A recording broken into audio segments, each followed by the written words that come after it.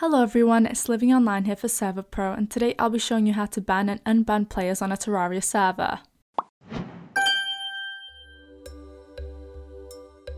To ban players on tModLoader and Vanilla, you'll just have to follow the following steps. All you have to do is head into your server's control panel and then click on the console tab on the left. Once the console tab is open, you just have to type in ban and then the player name. For this to work, the player will have to be online at the time of ban, so make sure to do it instantly when you see someone causing problems. You'll know the ban has worked correctly when it says was booted, banned from server. However, to ban players on TShock, you have the option of banning them permanently or for a set amount of time. You can also add a reason on why they were banned. To do this, you just have to head to your TShock server control panel and into the console or shell. To permanently ban a player, run the command ban add and then the player's username, followed by the reason for the ban in quotation marks like on the screen. Then you'll know the command has worked when it says ticket number was created. Now to temporarily ban a player, you need to run the command ban add and then the player's username, the reason for the ban if you'd like to add one, and the time you want to ban them for. You need to do so using the date, minute, second layout, like on the screen. Just like before, the player will have to be online in order for the ban to take effect. You'll know the command has worked when it says ticket number was created. Now that you know how to ban players, you may also want to unban players, so we'll be showing you how to do so in the next segment.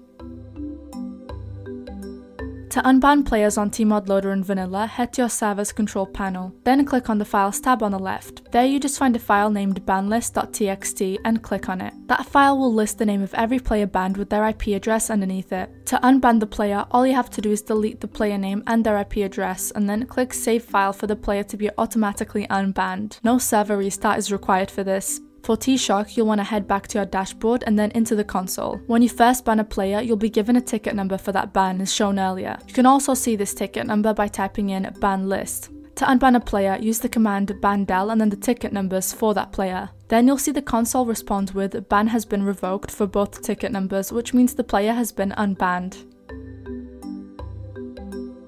Well, that's it for this video. If you have any more questions, make sure to leave them down below. And if you enjoyed this video, subscribe to see more from my channel. Thank you for watching.